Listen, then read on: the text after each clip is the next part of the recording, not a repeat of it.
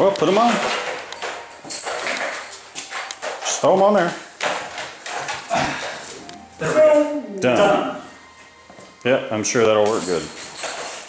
Well, I've been changing tires out here.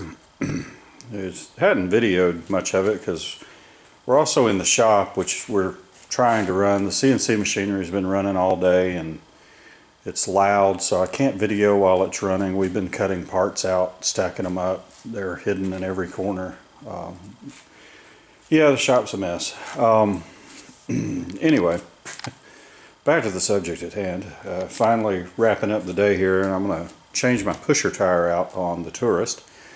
I've already done the tires on the Patrol, but I thought I'd take a moment and kind of show you what I've got set up here. Uh, the tools, how, how I'm doing it. It's not really bad.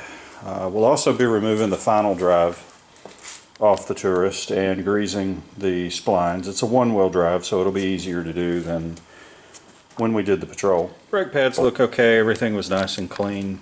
Uh, wasn't too bad to get off. It, like with these Russian bikes, everything's a little odd and awkward, and I, I really don't believe any two are identical either.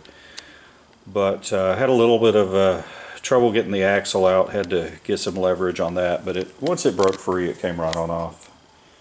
And uh, so I thought I'd set up here. We've got the pusher tire off, and I've already pulled the valve stem, deflated the tube, and that's where I'm at. I'm going to peel the tire off of this thing now and pull the tube out and finish getting it off. And just thought I'd show you that process. Alright, first thing I'll tell you is the Russian tools they provide are about uh, the same quality as the Russian bike, but, but you gotta love Ural. It's a love-hate relationship. Uh, the little uh, retainer ring wrenches that they give you. I've kicked them around here and see this. Out, out out of six tires, this is actually number seven because I had to do the spare on the Patrol. Um, these little pins lock in to this retaining nut so you can unscrew it and get the bearings out because I'm going through and checking all the bearings and re-greasing and you can see what happens. This one, it, it popped out. I don't know where it's at. I've, I lost it, but it's, it's like they're just pressure fitted in, riveted. They're not welded or anything. I, I don't know how they're done, but they pop right out. This one popped out. I put some JB weld in it and uh, let that cure overnight, see how it does.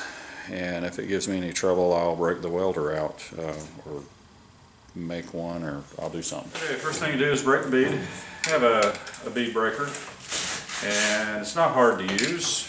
Uh, confuses some people. It doesn't come with instructions, but essentially you break the, the bead. Generally the bottom bead will break first. Not always. And I put the longer part on the top. Goes, yep, the bottom one just broke.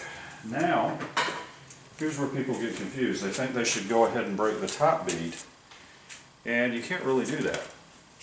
What you gotta do, now that the bottom bead is broke, the top bead is not, if you try to use this bead breaker again, you're just squeezing this tire up. So what you do is you go ahead and you demount this side of the tire. Then you use the bead breaker again and pop the rest of the bead off. I'm using uh, my snot lube, I call it. It's got the consistency of snot. Seems to be pretty good stuff. It, it dries well. I just run this all the way around it.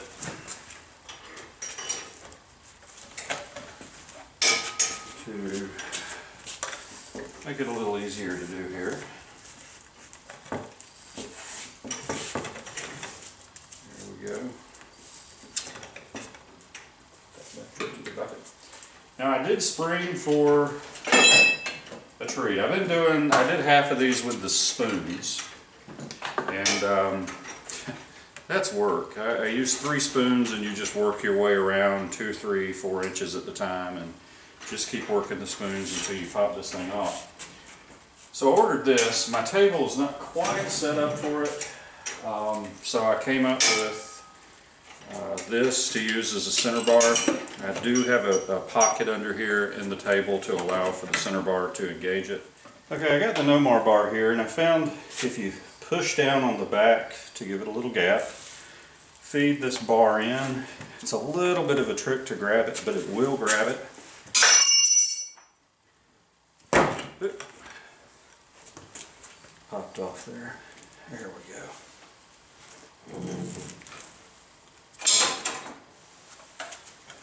There we go, now it's coming around. And then once you have it, you can turn it around. And then this is the part, because of the way this is set up, it's not anchored. I don't have a way to really lash the wheel down. This just takes brute force. And I found if I grab this and pull, I can do it.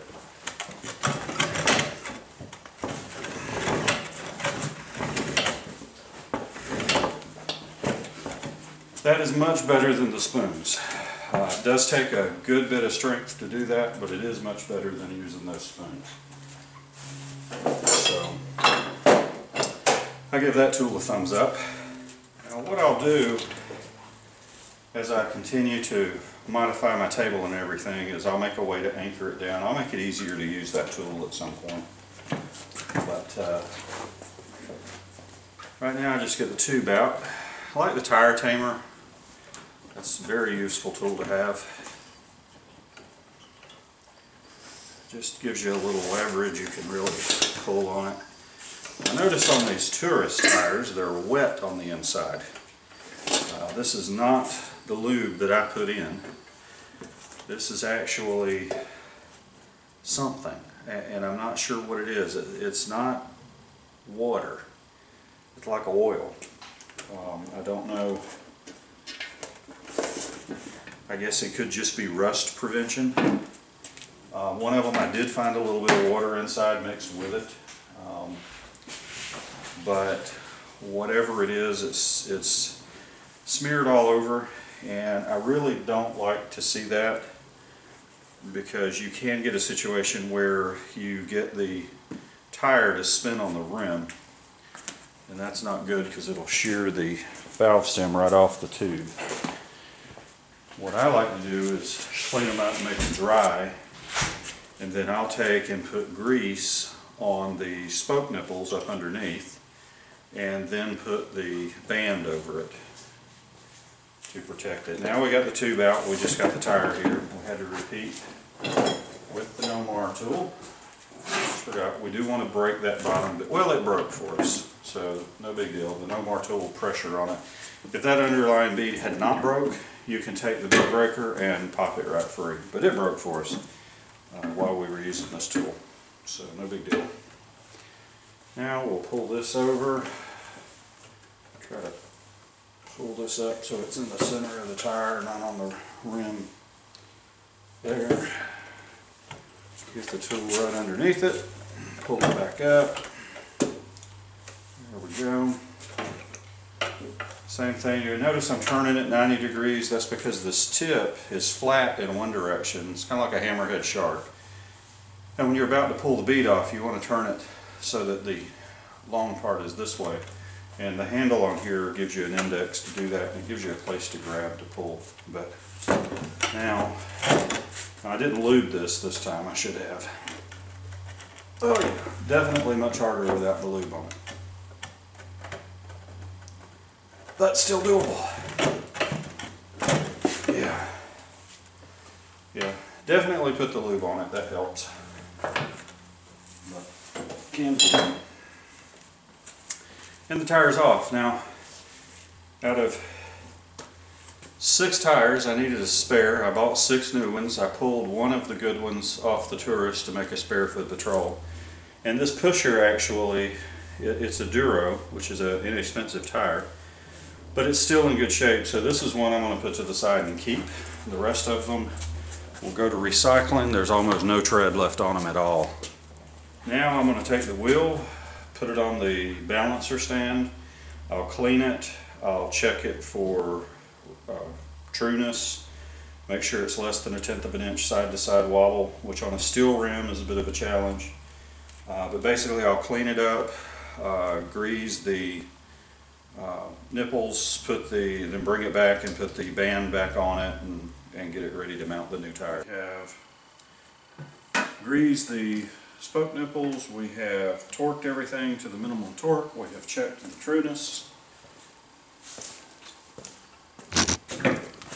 We did remove the old weights that were on it, there were only a few, it had already thrown the other ones, that's why it was vibrating so bad.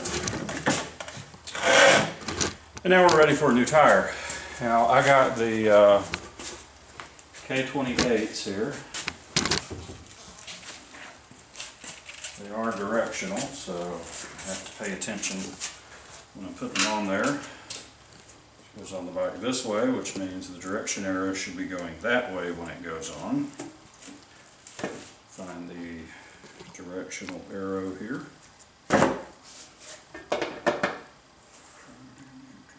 There's the directional arrow. Right now it's going this way, which is the wrong way. So I want it to go on like that. That's the way it's going to roll. So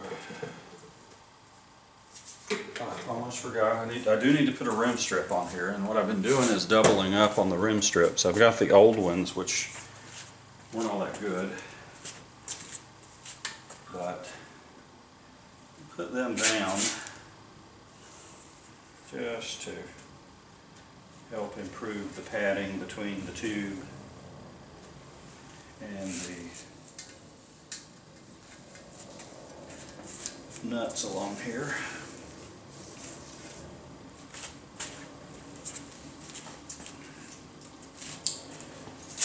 Then I have 18 slash 19 inch rim strips. 18, but they're 18 slash 9s. They're, get twisted in way.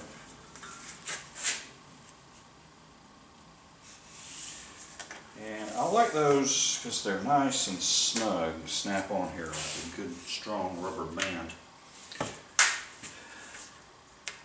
The ones that are a little larger don't have a lot of tension behind them and they tend to move around when you're trying to put the tire on.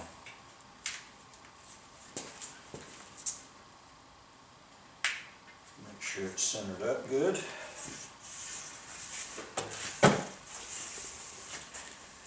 There we go. No grease or anything rubbed off onto the rim. Here, double check. Last thing I want to do is put this sucker on and then find out I gotta take it off. Sounds like something my son would do. Right? Nah. Alright, we put the tire snot on.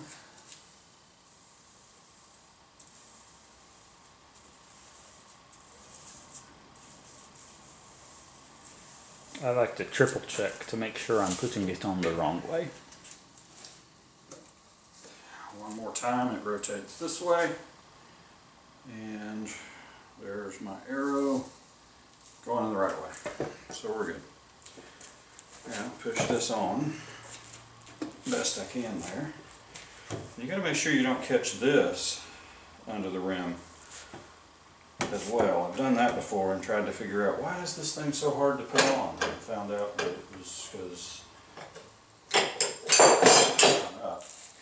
now the little bead buddies are not entirely necessary, but they are helpful. Um, I just put one on here. I didn't even bother locking it over the spoke. And I've had pretty good luck with that so far. Once the pressure gets on it, it doesn't go anywhere. And this Baja no pinch tool, it is pretty neat.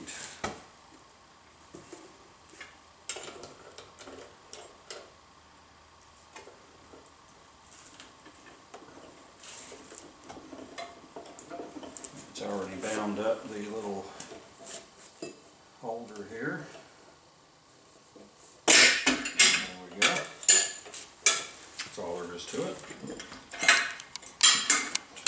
Take this out. Now, I gotta get a tube in there. The, uh, lay the tube out on top, and then I like to use talcum powder, and You can like it or not, I don't know. I think this is medicated too, so it will prevent athlete's tire.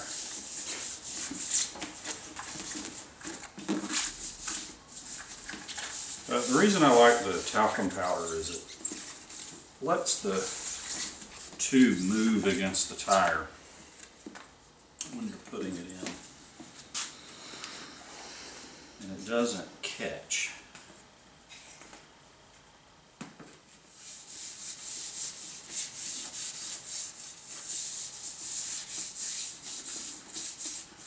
Now this is the part that for me is always a little awkward and ugly putting the tube in because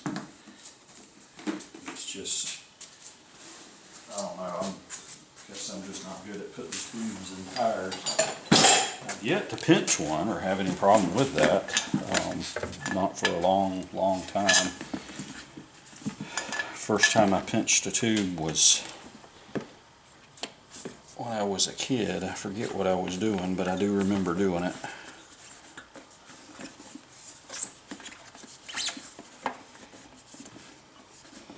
I'm going to say I rather wrestle with motorcycle tires than just about any other tire out there. Tractor tires, those are my least favorite. Worked on a dairy for several, oh, a couple of years. It was near here when I was growing up. And uh, you gotta watch out for that. You can't let the tube fold. And this is the part I don't like. Now you got to get the valve stem through. And I know they make little holders, lines you can screw onto the end, pull through. I've always had varied luck with those. They end up breaking or pulling off. Or... So I just push it through. and then put the nut on to keep it in place. And one thing I don't like to see are valve stems coming out of motorcycle tires at a huge angle. I know they'll move around a little bit. A little bit of an angle is okay, but I've seen them poke it out practically sideways. Um, And generally, if you just take a little time now, like if I move this tube back and forth, this valve stem is going to move back and forth. By adding the talcum powder, when I start moving this around and working with it, it's less likely to grab and drag the tube with it, causing the valve stem to be at an angle. Now one of them I took off the patrol. The valve stem was turned all the way sideways almost up against the spoke that it was next to. It was turned so far. And that's just something that I like to avoid. Just doesn't look nice. I mean, you're going to go to a lot of trouble to do this. You might as well take your time and make it look nice.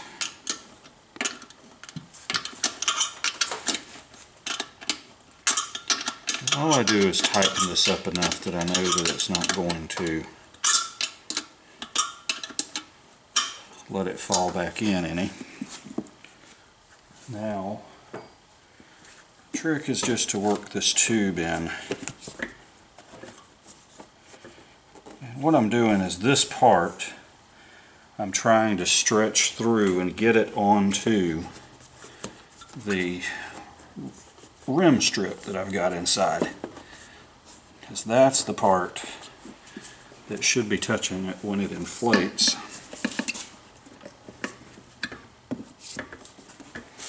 These are heavy duty thick tubes as well. I went ahead and opted to get the thicker ones since these bikes don't run at high speed. Anyway, I don't think it's going to be an issue. These are not um, you know, thin high-speed tires either. These are more like dirt tires in a way. I mean, these aren't for dirt, they are for the road. The K28s are, but let's see. Uh, trying to check as I put them in. I got one right on the bead now and I don't want that.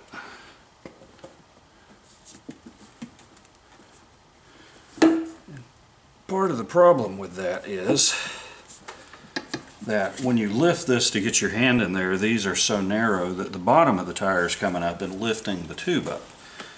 So when I put the tire down and let it settle, the tube should drop away because you don't want to end up pinching the tube between the rim and the tire when we start putting it on.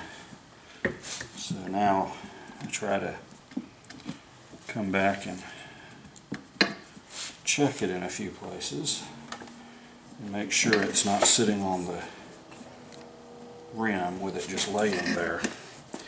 Now with the tire tamer what I'm doing is I'm actually pushing down here and twisting this up so I'm not lifting the bottom of the tire and I can just get my hand in and feel see the tube's right there so it's clear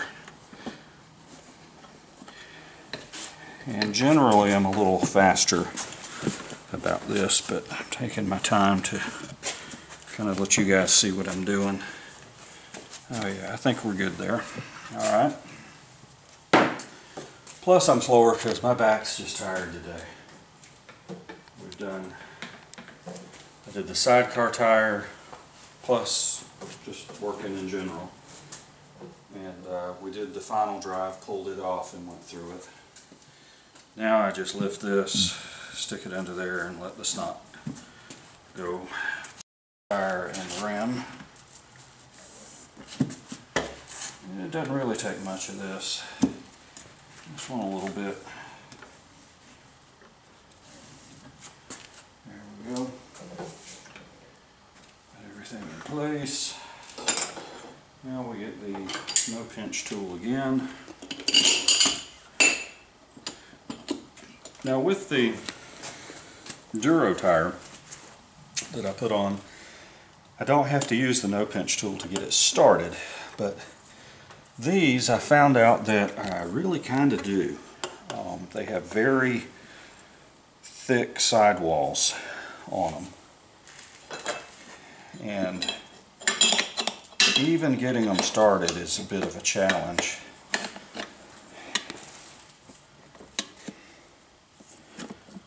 So that takes care of that. Then what I want to do is make sure that I lift this bottom over here, this bottom bead, I want to make sure it lifts up and kind of gets into the center well where the strip is the best that I can. And then I just want to take this easy and three or four inch bites is what I found works the best. And it'll generally, you can hear it pop right over the rim as you go around. And I, tried taking larger bites. I tried just coming over here and pushing on it. I found that really requires a lot more pressure than you should be putting on and you can damage the tire with this. But if you just take small bites, um, it seems to do pretty good. Right about now I like to stop and swing around over to here next to the rim keeper here and give this one a couple of pushes.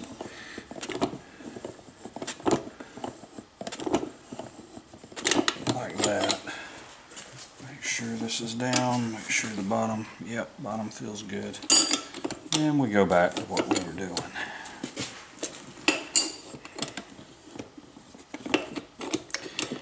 Now, I like to do what I just did over here with the Bead Buddy because I found on one of the other tires, remember this is the sixth one of these I've done, unlike the second one that I did, I found that this had popped up and you see how this is stretching here. This uh, lower bead was engaged down on the rim a little too far and I didn't realize as I was putting pressure it was cutting it right along here. Now I caught it before it cut it but I noticed that it was stressing against this bead buddy. So that's why I kind of do that. It lets me gauge. I know if this pops back up that something's wrong, I need to stop and back up and I don't just keep pushing on it and damage the tire against the bead buddy.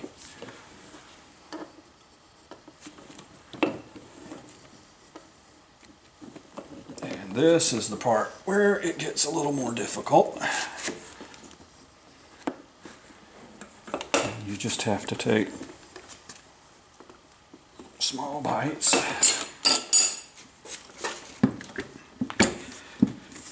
Make sure this lifts off. There we go.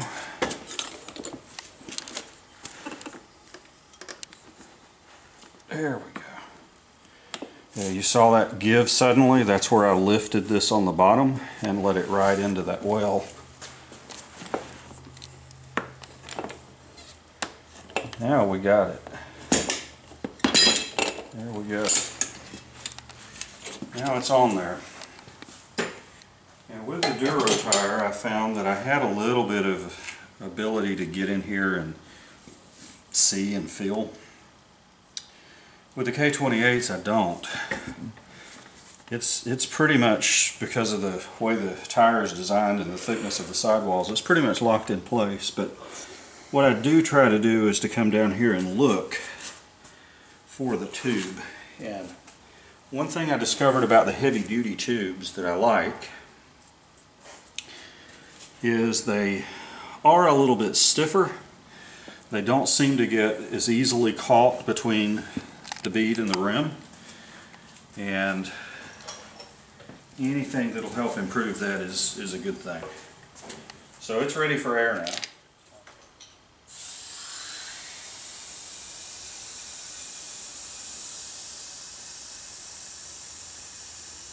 And the beads have seated.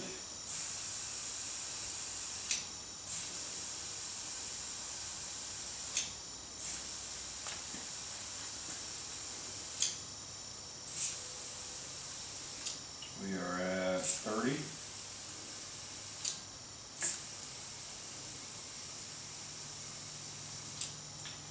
Forty.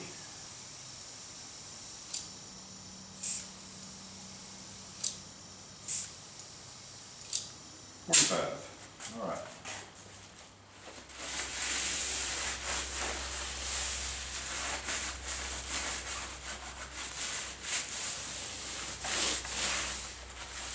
And I'll have to clean it real good to get the weights to stick to this rim. Chrome rim, the weights don't want to stick very well to them, I should clean them really good.